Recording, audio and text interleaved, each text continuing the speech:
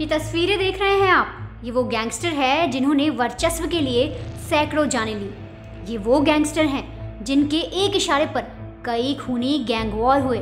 Lawrence Bishnoi से लेकर सुखा कहलवा, बदन सिंह बद्दो से लेकर बम्बीहा, सबने अपना पावर और कौन कितना बड़ा, या यूँ कहें स्टाइलिश गुंडा है, ये दिखाने में कोई कसर नहीं छोड़ी।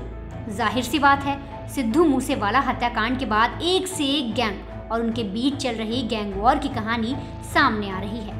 ऐसे में क्राइम तक पर आज कहानी देश के ऐसे गैंगस्टर्स की, जिनके नाम से आज भी लोग खौफ खाते हैं। सुखा कहलवा गैंग। एक वक्त ऐसा था जब खतरनाक गैंगस्टर सुखा का खौफ पंजाब, हरियाणा और राजस्थान से लेकर पश्चिम बंगाल तक फैला हुआ था।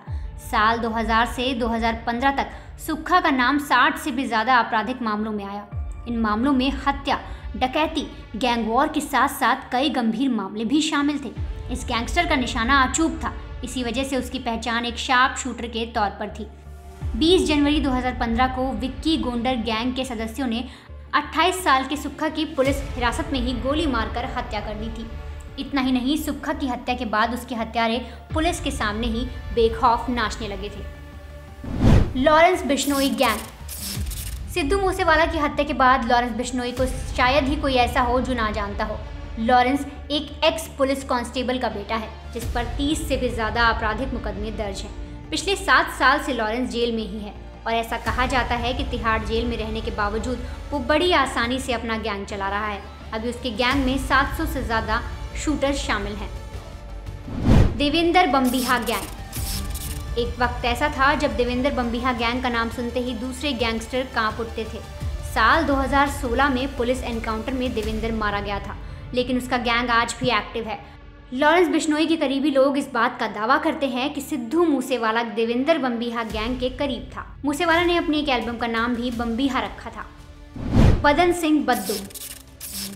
पश्चिमी उत्तर प्रदेश का कुख्यात गैंगस्टर बदन सिंह बंधु पर यूपी पुलिस ने ढाई लाख और दिल्ली पुलिस ने पचास हज़ार रुपए का इनाम रखा है।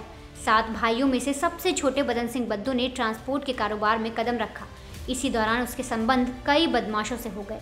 बताया जाता है कि उसने साल उन्नीस सौ अट्ठासी में अपराध की दुनिया में कदम रखा। बदन सिंह बद्दू ने साल उन्नीस सौ छियानवे में एक वकील की हत्या की। इस मामले में कोर्ट ने उसे उम्र कैद की सजा सुनाई थी।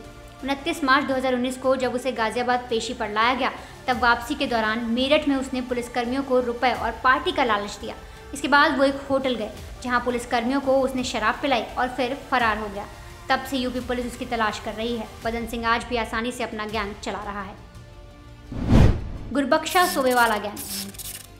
पंजाब, हरियाणा और राजस्थान में हत्या, लूट, अपहरण और फिरौती के लिए बदनाम इस गैंग के खूब चर्चे हैं। इस गैंग का सरगना रंजीत सोवेवाल साल 2015 में मारा गया था। इसके बाद उसका भाई गुरबख्श इस गैंग को चला रहा है।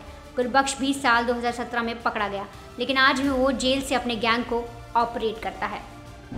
जग्गू भगवानपुरिया गैंग। पंजाब में ये गैंग सबसे ज़्यादा एक्टिव है। किडनैपिंग, वसूली, हाईवे रॉबरी जैसी वारदात को ये अंजाम देता है। इस गैंग का मुखिया जग्गू है। उसे साल 2015 में पुलिस ने गिरफ़्तार किया था। हालाँकि इसके बाद भी वो जेल से अपना गैंग ऑपरेट करता है। Gunder and brother gang. Punjab के सबसे खतरनाक गैंगस्टर में गुंडर एंड ब्रदर्स का नाम शामिल है। इसका मुखिया विक्की गोंडर है। ये वही विक्की गोंडर है जिसने पंजाब के नामचीन गैंगस्टर सुखा कहलवा को पुलिस हिरासत में दिन दहाड़े मार डाला था। इसके बाद हत्यारों ने पुलिस के सामने डांस किया। इसी गैंग पर पंजाबी सिंगर मनकीरत औलख को धमकी देने का भी आरोप है। विकी गोंडर अभी जेल में है और वहीं से वो पूरा गैंग ऑपरेट कर रहा है। हाल ही में सिद्धू मूसेवाला की हत्या के बाद उसके गैंग ने बदला लेने का ऐलान भी किया है।